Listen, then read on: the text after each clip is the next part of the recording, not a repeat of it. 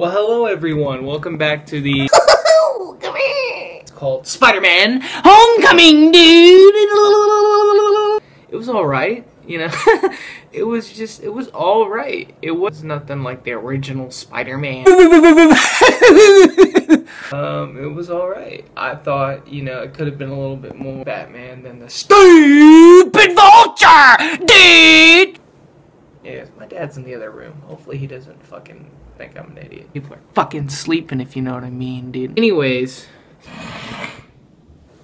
Yeah, the movie was just alright. Uh, the person who played Flash did a terrible job. Okay, whatever, dude! Anyways, Spider-Man Homecoming was a...